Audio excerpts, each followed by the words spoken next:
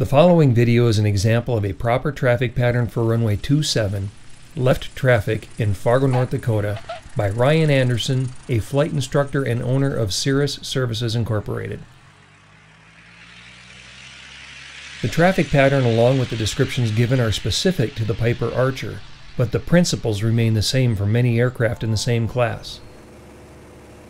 Keep in mind this video was shot on an ideal day Pilots will need to make corrections for winds and density altitude with power settings and headings to maintain a nice rectangular pattern, proper altitude, and airspeeds in less than ideal conditions. Crosswind landings as well as common errors and how to correct them will be covered in other videos. Once clearance has been obtained, line up on the runway centerline and smoothly advance the throttle to full RPM. At 60 knots, rotate and establish a proper climb pitch to achieve 76 knots indicated airspeed. 76 knots is your best rate of climb, or VY. This pitch will be right around 8 degrees nose high on the attitude indicator.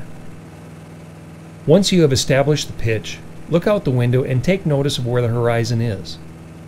You want to keep this pitch during the entire climb.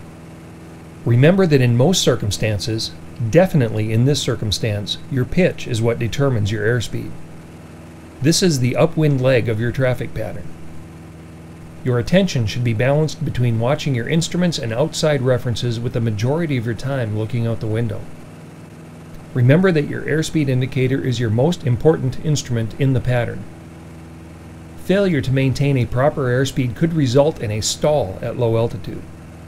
That stall may be unrecoverable. Also pay attention to other signs such as hearing the engine slow in RPM or an excessive pitch high attitude. Once you have reached 500 feet AGL, in the case of Fargo that would be 1,400 feet above sea level, fuel pump and landing lights should be switched off. Make sure that you check the fuel pressure after turning the fuel pump off. Next, retract the flaps. It is very important that you keep your pitch attitude when the flaps are retracted.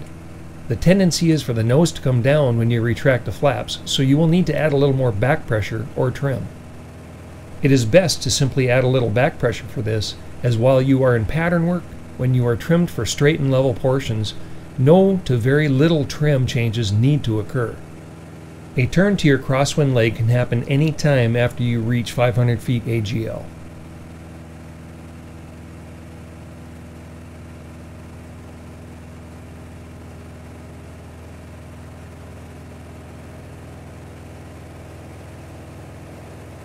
Once you are at pattern altitude, we use 1,900 feet.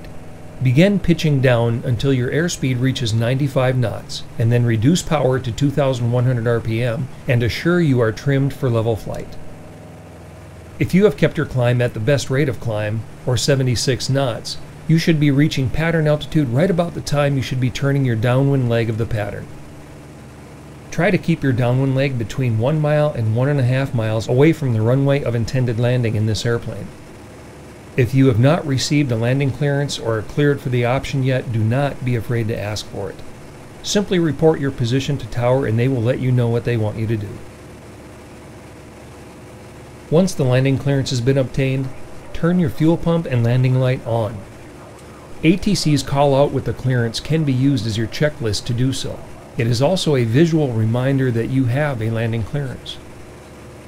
Just in case, never be hesitant to ask and make certain that you have a landing clearance prior to landing.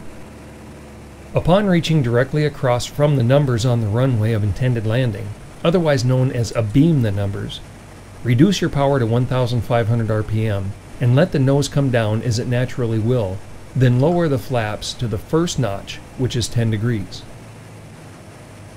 Make sure you do not let the airplane pitch back up when you extend flaps. Look out the window and keep the same nose low pitch you had by adding a bit of forward pressure to the yoke. This will slow you down to around 85 knots in the proper glide path and the pressure on the yoke required to maintain the pitch attitude will subside.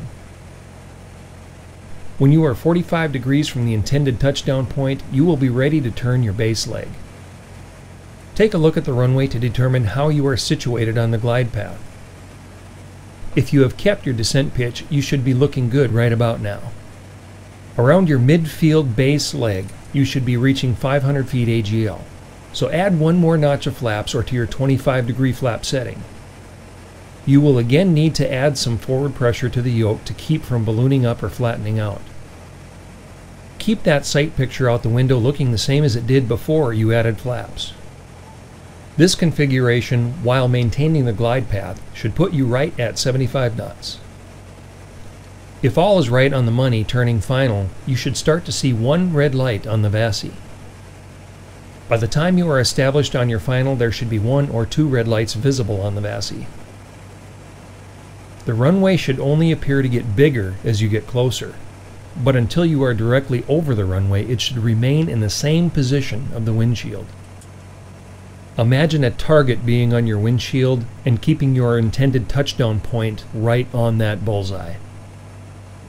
Make sure to work on maintaining the extended center line of the runway as well as your glide path. If you are low on the glide path, add a bit of power. Leveling off will only slow you down too much. If you find yourself too high, remove power until you again reach your glide path, then add the power back.